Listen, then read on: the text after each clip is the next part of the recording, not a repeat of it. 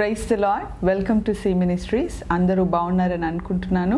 మేము ఇండియాలో లేనప్పటికీ కూడా ఇండియా న్యూస్ చూస్తున్నాము. ముఖ్యంగా ఆంధ్ర తెలంగాణలలో ఈ వైరస్ చాలా ఫాస్ట్గా స్ప్రెడ్ అవుతుందని న్యూస్ చూసాం. అయితే ఎగ్జామ్స్ కూడా పోస్ట్పోన్ అయ్యాయని మాల్స్ అన్ని క్లోజ్ అయ్యాయని లాక్డౌన్ గవర్నమెంట్ ప్రకటించిందని చూసాము. సో ఇవన్నీ కూడా మనకి న్యూస్లో వినిపిస్తున్న విషయాలు. అంటే మనము వాట్సాప్లో చూసినా ఫేస్బుక్లో చూసినా లేదా యూట్యూబ్లో చూసినా న్యూస్ పేపర్స్లో చూసినా ఎక్కడ చూసినా కూడా ఈ కరోనా వైరస్ గురించిన న్యూస్ మనకుంది. అంటే చైనా నుంచి వచ్చింది వుహాన్ నుంచి వచ్చింది. ఇది జూనోటిక్ వైరస్ అంటే జంతువులను తినడం ద్వారా వచ్చింది అని కొందరు వచ్చేసి బయో ఇంజనీర్డ్ అని somehow we are getting many news అంటే చాలా రకాలైన వార్తలను మనము ఈ కరోనా వైరస్ గురించి మనం వింటున్నాం. సో ఇదంతా సత్యమే. కానీ దీనికి మించిన సత్యము ఇంకొకటి ఉంది. అంటే మనకి ఇది ఫిజికల్గా కనిపించే సత్యం అయితే ఆత్మలోకంలో ఈ వైరస్ రావడానికి ఒక కారణము ఒక ఉద్దేశము ఉంది. సో మేము అది ప్రార్థిస్తున్నప్పుడు దేవా ఉద్దేశము లేకుండా ఏ పని కూడా జరగదు. సో నీ కంట్రోల్ తప్పి అంటే దేవుడి కంట్రోల్లో లేకుండా భూమి మీద ఏ పని కూడా జరగదు. అంటే సమస్తము కూడా ఆయన ఆధీనంలో ఉంది. ఆయన ఆధీనము దాటి ఏ పని జరగదు. అంటే ఇప్పుడు కరోనా వైరస్ భూమి మీద స్ప్రెడ్ అవుతుంది అంటే దేవుడికి భూమి మీద కంట్రోల్ పోయింది అని అర్థం కాదు. ఆయన ఇప్పటికీ కూడా he has a control on the earth ఇప్పటికీ కూడా ఆయనకి భూమి మీద అధికారము సార్వభౌమ అధికారము సమస్త కంట్రోల్ ఆయనకి భూమి మీద ఉంది. సో అయినప్పటికీ ఈ వైరస్ ఎందుకు వస్తుంది అంటే దేవుడు చెప్పాడు ఇది ఒక ట్రాన్సిషన్ ట్రాన్సిషన్ జోన్ అని చెప్పాడు. అంటే ఇది మార్పు పొందే ఒక సమయం. ఇది ఒకే ఒక మాట దేవుడు మాట్లాడాడు ఇది మార్పు పొందే సమయం. అంటే ఏంటి ప్రభు అంటే దేవుడి మాకు దేవుడు మాకు అర్థం చేయించిన విధానంలో నేను మీతో పంచుకోవాలని నేను అనుకుంటున్నాను. సో మనం బైబిల్లో చూసినట్లయితే భూలోకంలో మార్పును కలిగించే సంఘటనలు అనేకమైనవి జరిగాయి. ఒకటి నోవా కాలంలో మార్పు కలిగించే సంఘటన రెండవది మోషే కాలంలో మార్పు కలిగించే సంఘటన మూడవది యేసుక్రీస్తు భూమి మీదకి మొదటిసారి రావడం ద్వారా నాలుగవది వచ్చేసి పెంతకోస్తు దినమందు పరిశుద్ధాత్ముడు భూమి మీదకి దిగడం ద్వారా ఆ భూమి మీద ఉన్న పరిస్థితులన్నీ మారిపోయాయి. అంటే ఒక మార్పు అనేది ఒక ప్రామినెంట్ చేంజ్ అనేది భూమి మీద కలిగింది. అది మనం నోవా కాలంలో చూసినట్టయితే నోవా కాలంలో ఉగ్రతలు రావడానికి కారణం నెఫిలీలు అనే వాళ్ళు ఉండేవాళ్ళు. వాళ్ళ ద్వారా వాళ్ళ ద్వారా భూమి అంతా నాశనమయ్యే పరిస్థితిలో ఉంటే నెఫిలీల ద్వారా భూమి నాశనమయ్యే కన్నా నా ద్వారా భూమి నాశనమై నెఫిలీలు నాశనం చేస్తే నీతిమంతుడైన నోవాన్ని కూడా ఏదో ఒక రోజు నాశనం చేస్తాడు. సో కాబట్టి భూమిని నాశనం చేసే వారి చేతులకి అప్పచెప్పడం కన్నా సృష్టికర్త అయిన నా చేతుల్లోనే ఆ నాశనమయ్యే భూమిని నేను ఎండ్ చేసేసి అంటే ఒక ముగింపు ప్రకటించి నీతిమంతుడైన నోవా ద్వారా నేను ఒక నూతన సృష్టిని మరలా సృష్టిస్తానని దేవుడు ఒక గొప్ప నిర్ణయం తీసుకొని ఫ్లడ్స్ ద్వారా గొప్ప ఫ్లడ్స్ ద్వారా భూమి అంతా మళ్ళీ రీఫార్మ్ అయిపోయింది. అంటే ఒక కొత్త జనరేషన్ వచ్చింది. ఫ్లడ్స్కి ముందు చూస్తే భూమి అంతా ఆదాం యొక్క సంతానం. ఫ్లడ్స్ తర్వాత చూస్తే భూమి అంతా నీతిమంతుడైన నోవా యొక్క సంతానం. ఎందుకంటే దేవుడు ఆ ఫ్లడ్స్ అన్ని అయిపోయిన తర్వాత నోవాతో అంటాడు నోవా మీరు ఫలించి అభివృద్ధి పొందుడి ఈ భూమిని నింపుడి అంటాడు. అంటే ఆదాముతో పలికిన సేమ్ ఆశీర్వాదం నోవహుతో కూడా దేవుడు పలికాడు. అంటే ఆ ఫ్లడ్స్ తర్వాత మొదలైన జనరేషన్ వచ్చేసి నోవా యొక్క జనరేషన్. అంటే ఫ్లడ్స్కి ముందు స్టోరీ వేరు ఫ్లడ్స్కి తర్వాత స్టోరీ వేరు. అంటే ఈ ఫ్లడ్స్ కాలంలో అంటే ఆ జోన్లో దేవుడు ఈ ఫ్లడ్స్ని తీసుకొస్తాను అనే జోన్లో మనకి ఏం జరిగింది అని మనం చూస్తే బిబ్లికల్ స్కాలర్స్ ఏమంటారంటే దేవుడు నోవాతో మాట్లాడిన సమయం నుంచి ఫ్లడ్స్ వచ్చేంత సమయం వరకు నూట ఇరవై సంవత్సరములు ఉంది అని బిబ్లికల్ స్కాలర్స్ మనకిచ్చే టైం పీరియడ్ అయితే ఆ టైం పీరియడ్లో నోవా ఏం చేశాడు అంటే మనకు టూ పీటర్స్ టూ ఫైవ్స్లో ఏం టూ ఫైవ్లో అంటే రెండవ పేతురు రెండవ అధ్యాయం ఐదవ వచనంలో ఏం రాయబడి ఉంది అంటే నోవహు నీతిని గురించి ప్రకటించను అని వ్రాయబడి ఉంది. అంటే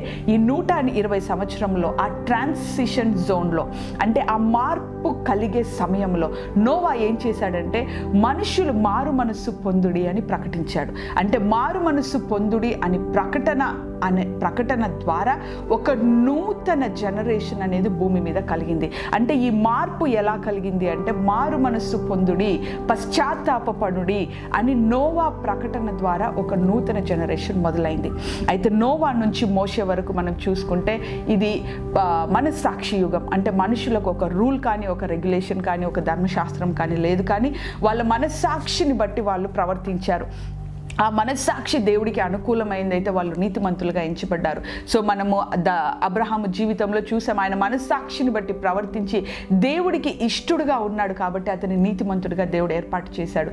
ఈ మనస్సాక్షి యుగము మోసే తర్వాత మార్పులోనికి వచ్చింది అంటే మోసే సమయంలో ఒక ట్రాన్సిషన్ జరిగింది. ఆ ట్రాన్సిషన్ ఎక్కడ జరిగింది? సీనాయి కొండ మీద ట్రాన్సిషన్ జరిగింది. సో మోసే దేవుడితో ఉండి మాట్లాడుతున్నప్పుడు ఆ సీనాయి కొండంతా ఆ మేఘముల చేత చీకటి చేత ఆవరింపబడి ఉన్నప్పుడు గొప్ప మేఘం చేత ఆవరింపబడి ఉన్నప్పుడు కింద ఉన్న ఇస్రాయలీలకి అనుకున్నారు మోష ఎక్కడున్నాడో మాకు తెలీదు దేవుడు ఎక్కడున్నాడో మనకు తెలీదు కాబట్టి మనం ఒక విగ్రహాన్ని చేసుకొని మనం ఆరాధిద్దామని ఒక బంగారు బొమ్మను చేసుకొని ఒక బంగారు ఎద్దును చేసుకొని ఆరాధిస్తున్నప్పుడు దేవుడు అంటాడు నా ఉగ్రత వీళ్ళ మీద మండిపోయింది నేను ఎన్ని రోజులు వీళ్ళను భరించాలా? మోషే నువ్వు అడ్డు రాకు నేను వీళ్ళని నాశనం చేసేసి చంపివేసి నిన్ను నేను ఒక గొప్ప జనముగా చేస్తాను. అంటే మోషే దేవుడి సన్నిధిలో వేడుకుంటాడు. మోషే దేవుడి సన్నిధిలో పశ్చాత్తాపడతాడు. మోషే దేవుడి సన్నిధిలో తన ప్రజల నిమిత్తమై ఆయన పశ్చాత్తాపడతాడు. పశ్చాత్తాపడి అంటాడు ప్రభా నీ జనులను ఒకసారి కరుణించు. ఇంతు నిమిత్తమా నువ్వు తీసుకొచ్చింది? ఇదిగో దేవుడు తన ప్రజలను అడవిలోకి తీసుకెళ్ళి చంపేశాడు అన్న చెడ్డ మాట నీకు వస్తుంది కదా. నువ్వు వద్దు ప్రభా నీకు ఆ ఉగ్రత వద్దు. నువ్వు అలా చెయ్యకు అన్నప్పుడు దేవుడు మోసే మాట విని ఒక నూతన సృష్టి కానాను దేశంలోనికి ప్రవేశించేటట్లు అనుమతిస్తాడు. అంటే ఈ ట్రాన్సిషన్లో అంటే మనస్సాక్షి యుగము ధర్మశాస్త్రంలోనికి ప్రవేశించడానికి ఏం జరిగింది అంటే సీనాయి కొండ మీద ఒక ట్రాన్సిషన్ జోన్ అనేది ఎగ్జిస్ట్ అయింది. అంటే సీనాయి కొండ మీద ఒక మార్పు జరిగే సంఘటన సీనాయి కొండ మీద జరిగింది. ఆ సంఘటనలో మోషే తన ప్రజల పక్షమున పశ్చాత్తాపడడం ద్వారా దేవుడు వాళ్ళని చంపకుండా ఉండడం ద్వారా కనీసము కాలేబు జాషువా అనే వాళ్ళైనా కానాను దేశంలోనికి ప్రవేశించగలిగారు. అంటే ఈ ట్రాన్సిషన్ జోన్లో మనస్సాక్షి యుగం నుంచి ధర్మశాస్త్ర యుగంలోనికి ప్రవేశించే ఈ ట్రాన్సిషన్ జోన్లో మోష యొక్క పశ్చాత్తాపము పనిచేసింది. అదే మోషే నుంచి మనము చూస్తే బాప్తిజం ఇచ్చి యోహాను వరకు కూడా ధర్మశాస్త్ర యుగము ఏలింది. అయితే బాప్తిజం ఇచ్చి యోహాను వచ్చి అంటాడు పరలోక రాజ్యము సమీపించింది మీరు మారు మనస్సు పొందుడి అని బాప్తిజం ఇచ్చి యోహాను ప్రకటిస్తాడు. అయితే యేసుక్రీస్తు బాప్తిజం పొందిన తర్వాత ఆయన సువార్త ప్రకటిస్తున్నప్పుడు యేసుక్రీస్తు గారు ప్రకటిస్తారు దేవుని రాజ్యము సమీపించి ఉంది కాబట్టి మీరు మారు మనస్సు పొంది సువార్తను నమ్ముడి అంటాడు. అంటే ధర్మశాస్త్రము నుంచి కృపాకాలంలోనికి ట్రాన్సిషన్ జరిగేటప్పుడు అంటే ఏసయ్య అంటే ఏసుక్రీస్తు యేసుక్రీస్తు శిలువ మరణము పొందేంత వరకు అంటే బాప్తిజం ఇచ్చి యోహాను కాలము నుంచి యేసుక్రీస్తు శిలువ మరణం పొందేంత వరకు కూడా ధర్మశాస్త్రము నుంచి కృపాకాలము వరకు మార్పు పొందడానికి ఉన్న ట్రాన్సిషన్ జోన్. అంటే ఆ కాలంలో మరి ధర్మశాస్త్రం ఉందా? కృప ఉందా? అంటే ధర్మశాస్త్రము కొట్టివేయబడే స్థితిలో అంటే మార్పు కలిగే స్థితిలో ఉంది. ఒక ట్రాన్సిట్ జోన్లో ఉంది. ఆ ట్రాన్సిట్ జోన్లో జరిగిన ప్రకటన ఏంటి అంటే మీరు మారు మనస్సు పొంది సువార్తను నమ్ముడి. నోవహు కాలంలో ఉన్న ట్రాన్సిషన్ జోన్లో one twenty periods of transition జోన్లో మారు మనస్సు పొందుడి అని నోవహు నీతిని గురించి ప్రకటించాడు. ఆ మనస్సాక్షి యుగం నుంచి ధర్మశాస్త్ర యుగమునకు జరిగే ట్రాన్సిషన్ జోన్లో మోషే దేవుడి సన్నిధిలో నీ మనుషులను క్షమించు అని పశ్చాత్తాపడ్డాడు. ధర్మశాస్త్ర యుగం నుండి కృపాకాలమునకు వచ్చే ట్రాన్సిషన్ జోన్లో బాప్తిజం ఇచ్చి యోహాను యేసుక్రీస్తు వారు మీరు మారు మనస్సు పొంది సువార్తను నమ్ముడి అని మారు మనస్సు గురించి ప్రకటించారు. అయితే యేసుక్రీస్తు గారు మరణించి తిరిగి లేచి పరలోక రాజ్యం ప్రవేశించిన తర్వాత ఆయన తన శిష్యులతో అంటారు మీరు ఎరుషలేములో ఉండి ప్రార్థించుడి. మీరు పరిశుద్ధాత్మను పొందెదరు అన్నప్పుడు నూట ఇరవై మంది వాళ్ళు మేడగదిలో ఉండి ప్రార్థిస్తున్నప్పుడు పరిశుద్ధాత్ముడు వాళ్ళ మీదకి దిగి వస్తే పేతురు లేచి గట్టిగా ప్రకటిస్తాడు. ఇస్రాయిలీలందరూ అసలు ఇక్కడ ఏం జరుగుతుందో అని చూడడానికి వచ్చినప్పుడు పేతురు లేచి గట్టిగా ప్రకటిస్తాడు. ఏమని అంటే మీరు చంపివేసిన యేసుక్రీస్తు మరణాన్ని జయించి మృతులలో నుండి తిరిగి లేచాడు. దానికి మేమే సాక్షి.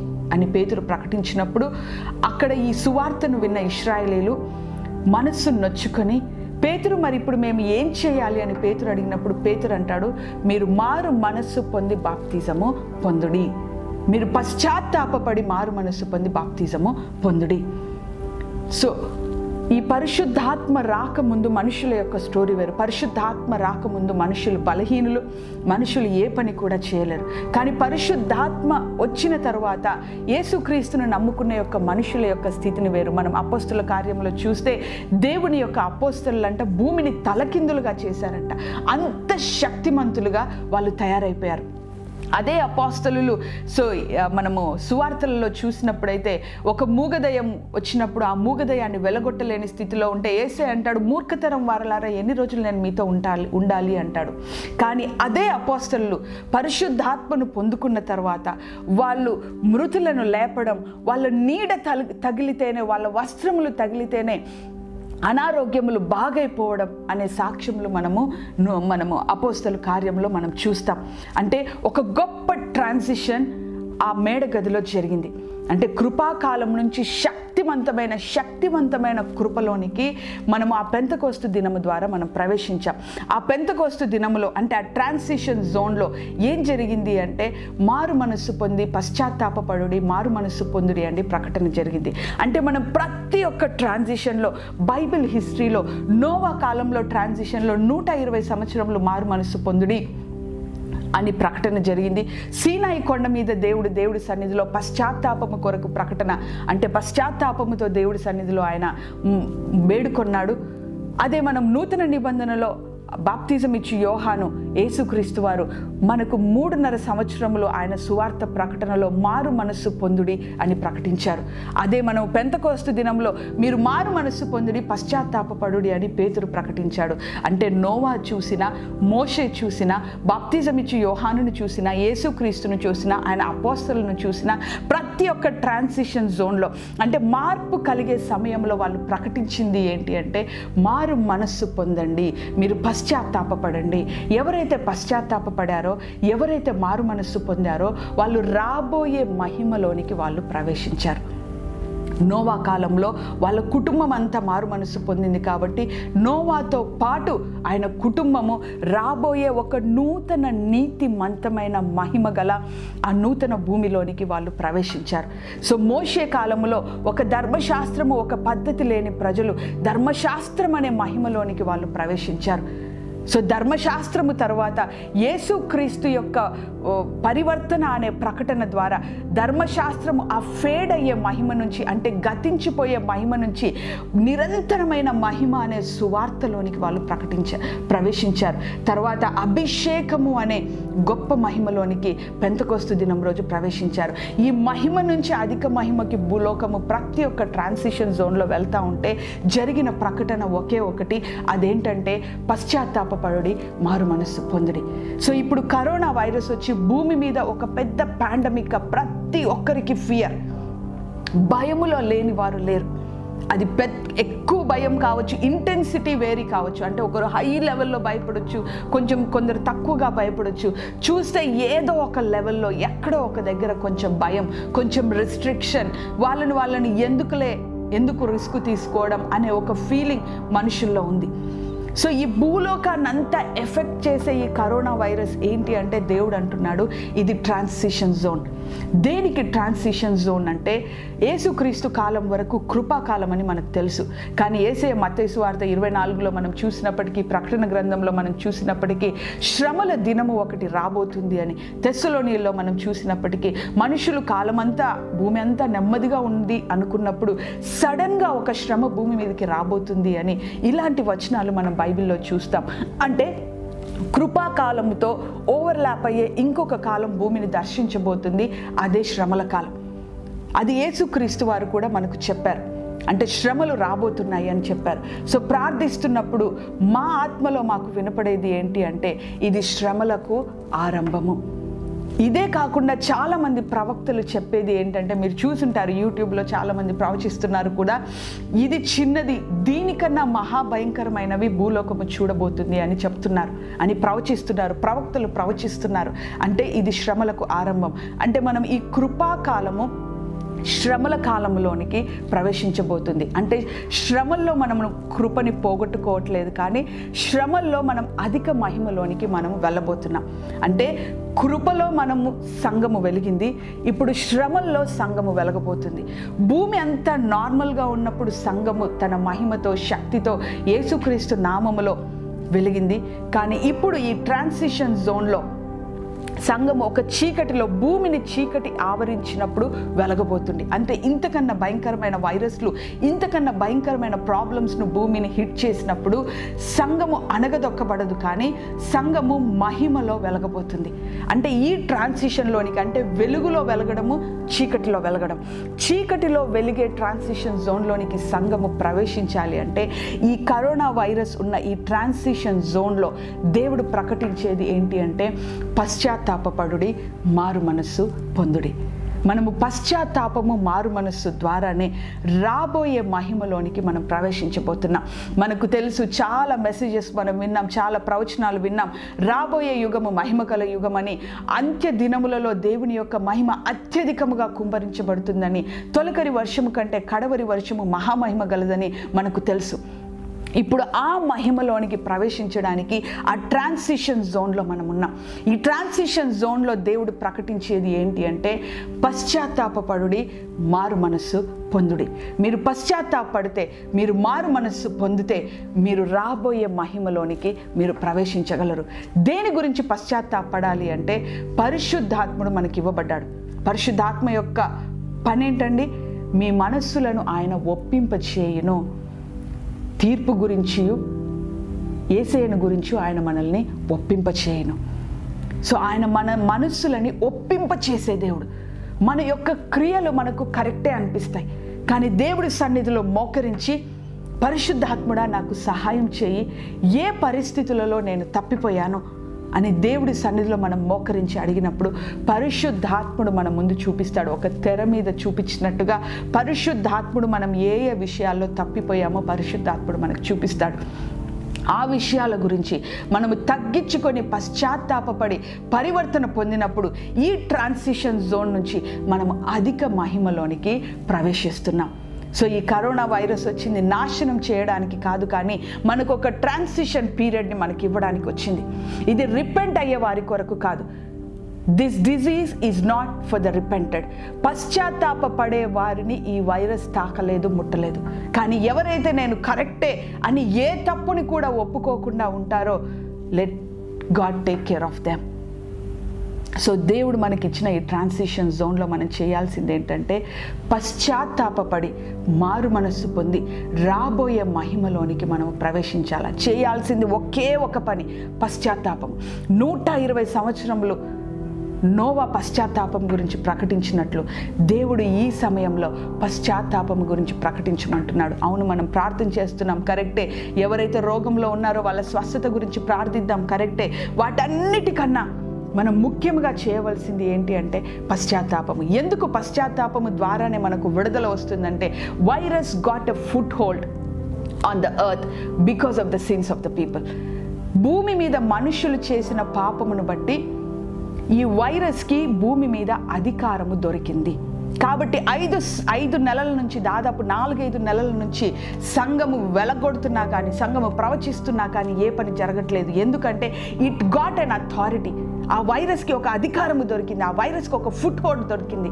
ఆ ఫుట్ హోల్డ్ని ఆ వైరస్కున్న అధికారంని ఆ వైరస్కున్న బాండేజ్ని మనము బ్రేక్ చేయాలంటే ఎప్పుడైతే మనం పశ్చాత్తాపడతామో ఆ సిన్తో మనం ఏర్పాటు చేసుకున్న బాండేజ్ ఎప్పుడైతే బ్రేక్ అవుతుందో మన ఇగ్నోరెన్స్ ఎప్పుడైతే బ్రేక్ అవుతుందో మన ప్రైడ్ ఎప్పుడైతే బ్రేక్ అవుతుందో మన జలసీ ఎప్పుడైతే బ్రేక్ అవుతుందో మన అడిక్షన్ టువర్డ్స్ మినిస్ట్రీ నా మినిస్ట్రీ ఎదగాలి అని చూస్తున్నాం కానీ ఆత్మలు రక్షింపబడుతున్నాయా లేదా అని మనం చూడట్లేదు. చాలాసార్లు ఇది జరుగుతుంది. మినిస్ట్రీ పెద్దగా అవుతుందా? మినిస్ట్రీ ఎక్స్పాండ్ అవుతుందా? మినిస్ట్రీ ఇంటర్నేషనల్ అవుతుందా? కానీ మినిస్ట్రీలో ఉన్న వాళ్ళు రక్షింపబడుతున్నారా? ఆత్మల రక్షణ నుంచి మినిస్ట్రీ ఎస్టాబ్లిష్మెంట్లోనికి గాస్పల్ వెళ్ళిపోయింది. That is a biggest sin against God ఎప్పుడైతే మోకరించి మనం ఆ తప్పును గ్రహిస్తామో ప్రభా నేను మినిస్ట్రీ మైండెడ్ అయిపోయాను. సోల్ మైండెడ్ నుంచి నేను మినిస్ట్రీ మైండెడ్ అయిపోయాను. నన్ను క్షమించినాయన అనే లీడర్స్ పశ్చాత్తాపడ్డ పడ్డప్పుడు. బిలీవర్స్ ప్రభా నేను బ్లెస్సింగ్ మైండెడ్ అయిపోయాను. కానీ నిన్ను ప్రేమించి ఆ తొలి ప్రేమ నుంచి నేను తొలగిపోయానని సంఘము పశ్చాత్తాపడ్డప్పుడు. దేవుడి సన్నిధిలో వచ్చి నీ కార్యమును నేను నెగ్లెక్ట్ చేశాను ప్రభు అని ప్రతి ఒక్క పరిచారకుడు దేవుడి సన్నిధిలో పశ్చాత్తాపడ్డప్పుడు ఆ వైరస్కి దొరికిన అథారిటీ ఆ వైరస్కి దొరికిన ఫుట్ హోల్డ్ అనేది బ్రేక్ అయిపోతుంది. ఎప్పుడైతే మనం ఈ పశ్చాత్తాపంలో వెళ్తామో ఆ పశ్చాత్తాపము ద్వారా ఈ ట్రాన్సిషన్ జోన్ క్రాస్ అయిపోయి రాబోయే మహిమలోనికి మనం ఎంటర్ అవుతున్నాం. సో మనందరం కూడా పరీక్షించుకుందాం. సో దేవుడి సన్నిధిలో నేను నీతిమంతుని నేను గొప్పవాణ్ణి అంటే మనల్ని మనం మోసం చేసుకున్నట్టు. ఎక్కడో ఒక దగ్గర మినిస్ట్రీలో సంఘంలో సార్వత్రిక సంఘంలో దేవునికి వ్యతిరేకమైంది జరిగింది కాబట్టి ఒక అబామినేషన్ ఒక సిన్ జరిగింది కాబట్టి కంచి తొలగింపబడి సాతానికి ఫుట్ హోల్డ్ దొరికింది. ఆ ఫుట్ హోల్డ్ని మనం క్యాన్సిల్ చేయాలంటే దాన్ని బ్రేక్ చేయాలంటే ఒకే ఒకటి. That is the repentance there is no other choice If repent you will enter in to the other zone So let us all humble ourselves and repent before the presence of the Lord. In Jesus' name, I pray, let us all repent and be safe in His presence. Amen.